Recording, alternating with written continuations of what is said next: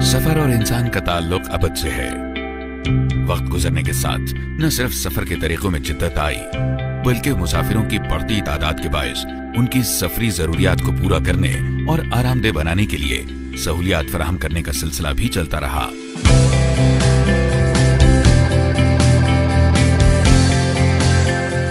दारुल हुकूमत इस्लामाबाद में मारकला की पहाड़ियों के दामन में पाकिस्तान का तीसरा बड़ा एयरपोर्ट वाक़ है। जिसे हम आज बेनजीर भुट्टो इंटरनेशनल एयरपोर्ट के नाम से जानते हैं।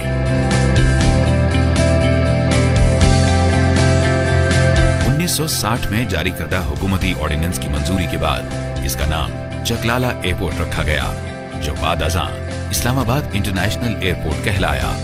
2008 में इसका नाम बेनजीर भुट्टो इंटरनेशनल एयरपोर्ट रख दिया गया।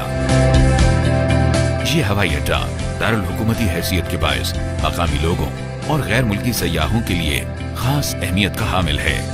इस बात के पेश नज़र और वज़ीर आज़म मियाँ मोहम्मद नवाज़ शरीफ की खसूसी हिदायत पर अमल करते हुए सिविल एविएशन अथॉरिटी ने इस हवाई अड्डे को बैन अवी मैार से हम आहंग करने और जदीद तरीन आसाइशों से आरास्ता करने के लिए फास्ट ट्रैक बेस पर डेवलपमेंट का काम शुरू किया। इन डेवलपमेंट प्रोजेक्ट्स में ड्रॉप लेन की तादाद को बढ़ाकर फाइव लेन कर दिया गया है। पाकिस्तान में पहली मरतबा फास्ट ट्रैक बोर्डिंग की सहूलत को मुतारिफ कराया गया है। इसके अलावा बत्तीस पब्लिक टॉयलेट्स की तामीर के बाद उनकी तादाद चार से बढ़ाकर छत्तीस कर दी गई है। और सर सब्जो शादाब गिरद नवा से माहौल को खूबसूरत बनाया गया है। सिर्फ़ यही नहीं बल्कि मुसाफिरों के लिए पार्किंग एरिया की गुंजाइश को बढ़ाकर 700 गाड़ियों तक कर दिया गया है। इसके अलावा एयरपोर्ट के अमले की सहूलत के लिए 400 गाड़ियों और 700 से जायद मोटरसाइकिल्स की गुंजाइश का अलग पार्किंग एरिया भी बनाया गया है। हर हफ़्ते डेढ़ लाख से जायद मुसाफिर हजरात इस एयरपोर्ट पर मौजूद। खसूसी तरबियत याफ्ता अमले की जेर निगरानी अपने सफ़र का आगाज़ करते हैं। मजीद बरान। बेनजीर भुट्टो इंटरनेशनल एयरपोर्ट से हर हफ़्ते तकरीबन साढ़े तीन सौ परवाजों की रवानगी और सवा तीन सौ परवाजों की आमद पर लाखों मुसाफिर सिविल एविएशन की खदमात से मुस्तफ़ होते हैं। इसके अलावा मुसाफिरों के तहफ़ के पेश नज़र जदीद असलहा और आलात से लैस एयरपोर्ट सिक्योरिटी फोर्स की तैनाती और इजाफी क्लोज सर्किट कैमरों के ज़रिए मुसाफिरों के तहफ़ को यकीनी बनाया गया है।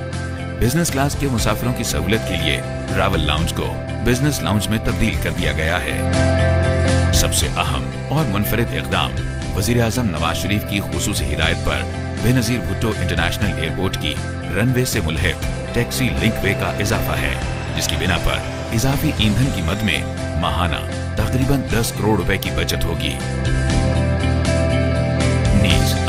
और बैरून मुल्क परवाजों की आमद रफ्त का सिलसिला भी बिला ताखिर और बाकायदगी से जारी रहेगा।